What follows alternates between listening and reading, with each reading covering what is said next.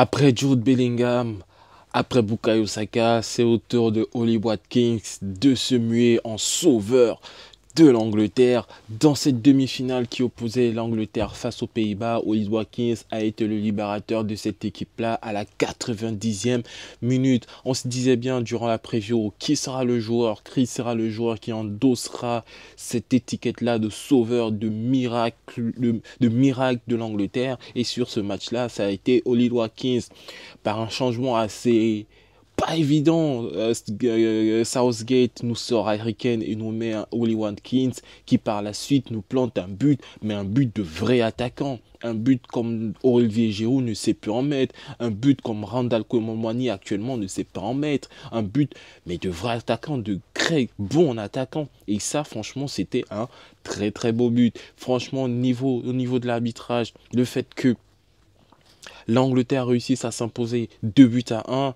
Moi, je pense que les Pays-Bas avaient, largement la capacité de s'imposer face à cette équipe-là. Les Pays-Bas auraient dû s'imposer face à cette équipe-là, mais c'est un peu dommage. Dans tous les cas, ce qui est sûr, c'est que L'Angleterre est en finale de l'Euro. L'Angleterre va affronter l'Espagne dans cette finale-là. Et l'Angleterre, tant bien, bien, tant bien le fait qu'ils ont eu des difficultés durant les phases de poule, en huitième, en quart de finale et en demi-finale, ils réussissent à se hisser pour la deuxième fois consécutive en finale de l'Euro. La, la, fois passée, c'était face à l'Italie. Ils ont échoué au penalty face à l'Italie. Cette fois-ci, c'est contre l'Espagne. En espérant que cette équipe-là a appris de ses erreurs et que cette équipe-là pourra dominer ses peurs, qui pourra dominer ses inquiétudes et pourra s'imposer face à cette Espagne, une Espagne assez euh, forte, une Espagne sûre de ses forces et une Espagne qui sait ce qu'elle veut et sait quel jeu elle veut mettre en place. Dans tous les cas, Rogri Bellingham, c'est potentiellement le duel pour le futur Ballon d'Or.